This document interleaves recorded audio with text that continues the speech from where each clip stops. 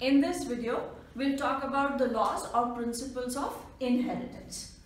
And these laws are based on the research that was done by Mendel and that's why these laws are also known as Mendel's laws of inheritance. The first law is the law of dominance.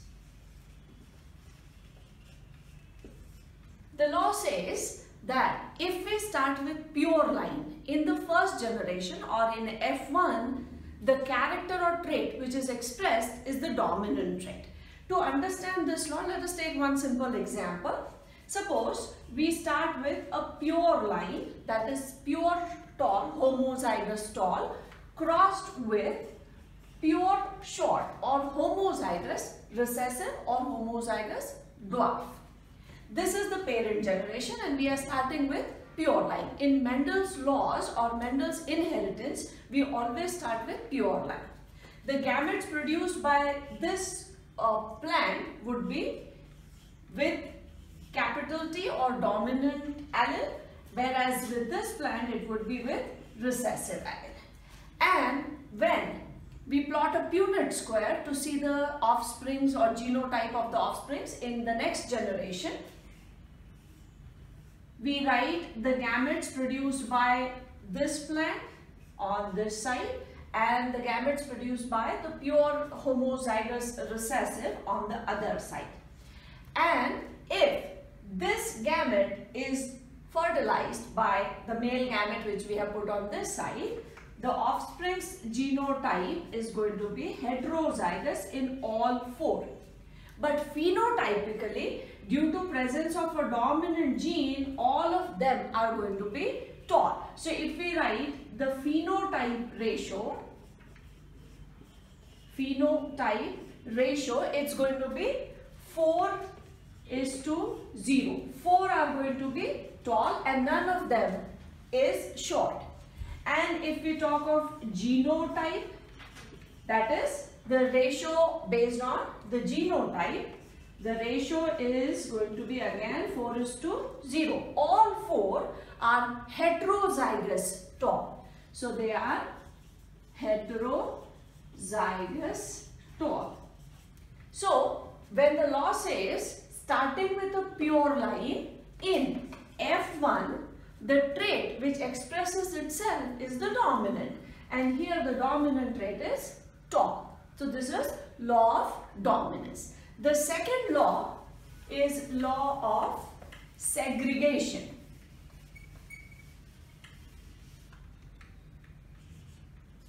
Second law is law of segregation.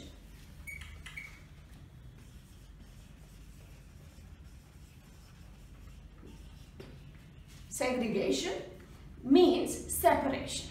Now when we say law of segregation, we need to understand what exactly this law means. It says that out of the two alleles, one goes on each gamete or in other words we can say during gamete formation, the two alleles of the gene get segregated or separated.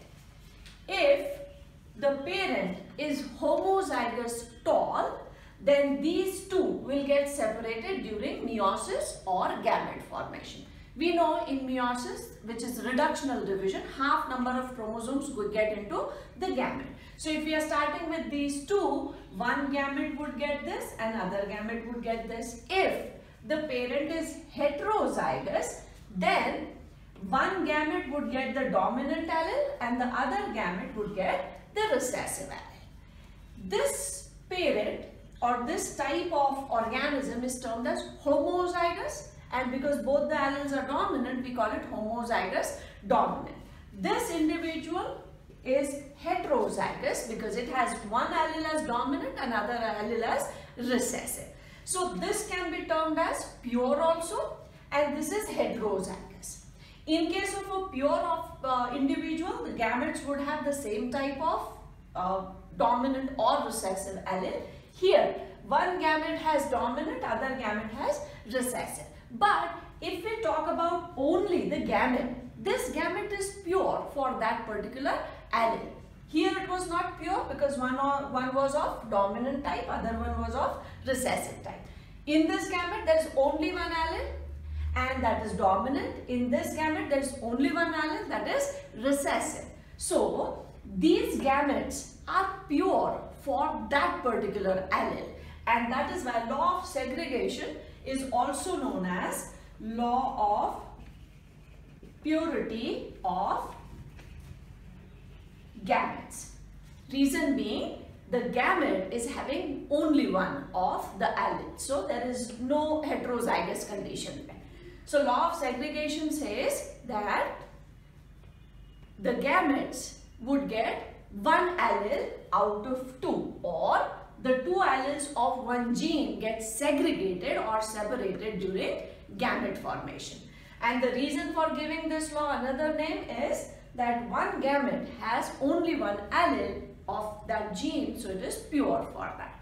Now the third law can be understood if we understand dihybrid cross.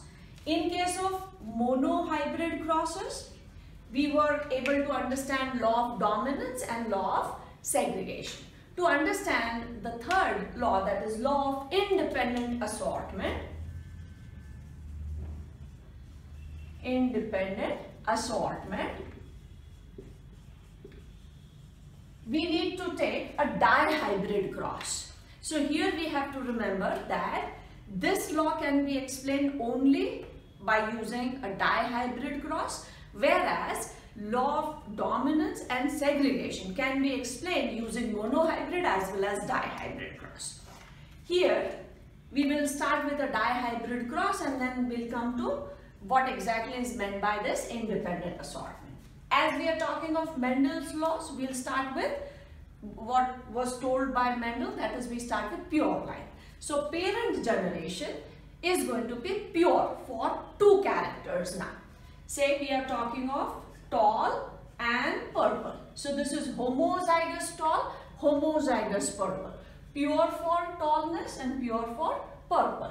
It is crossed with a pure short and white. That means homozygous for short or dwarf and white. If this is the parent generation, in F1 or let us talk about the gamete formation first. In this, the gametes would have one of these and one of these. So one T and P. But here, because we, uh, we had started with homozygous tall and purple, it is going to be capital T and capital P. And there are four gametes which would be produced here.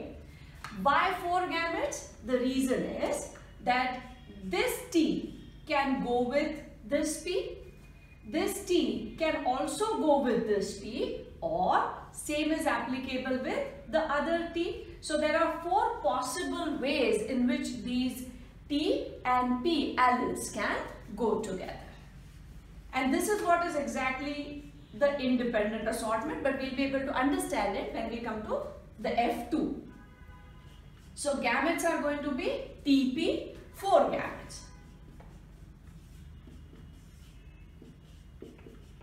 And in case of the recessive parent, all four gametes are going to be with recessive, that is recessive for tallness is for short and white.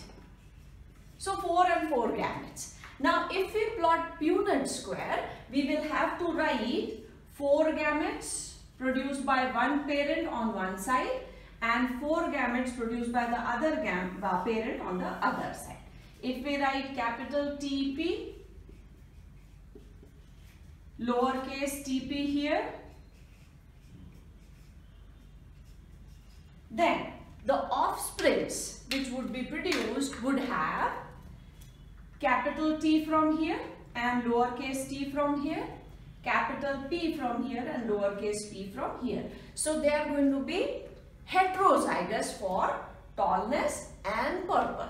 All 16 offsprings are going to be heterozygous tall and heterozygous purple. Law of dominance can be explained here also. In F1, the trait which expresses itself is dominant, that is tall and purple. And all 16 offsprings are uh, showing this dominant trait. So the law of dominance told us or uh, says that if we start with pure line in F1, it is only the dominant trait which expresses itself. So here we can explain the law of dominance also. Now, if we go for selfing of F1, selfing as we had already discussed, selfing means when the offsprings of the same generation are crossed, then it is known as selfing. So if we perform selfing of the members of F1, we will get the next generation that is F2.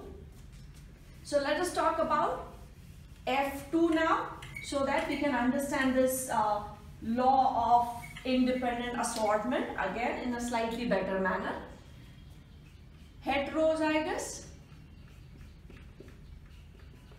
These were the offsprings of F1. Now here we are using them as parent for the next generation. Now what type of gametes would be formed? Capital T can assort itself or go with capital P. Capital T can also go with lowercase p independent of what is the other p like. Lowercase t can go with capital P and lowercase t can go with lowercase p. That means a dominant allele can go with a dominant allele of the other gene as well as the recessive allele of the other gene. So independent of the other alleles, these uh, previous alleles can go with any of those. Independently, irrespective of whether the other P is capital or lowercase or dominant or recessive. They can go with any of those. Now, again, when we say independent, this is one gene, two alleles. One allele is dominant that is represented by capital T. It can independently assort itself with capital P, we get this gamete or lowercase p, we get this gamete. And why we are saying independently? Because it is not dependent on what is on the side of it. Whether it is lowercase t or capital or dominant t. So this is law of independent assortment. And to understand this, we need to take a dihybrid cross. So three laws, dominance, law of dominance, law of segregation can be explained using both monohybrid as well as dihybrid crosses. But law of independent assortment can be explained only by using a dihybrid cross because then it is clear to explain that the allele of one gene can independently assort with any of the allele of the other gene. So, three laws of Mendel's. Now we will talk about some crosses.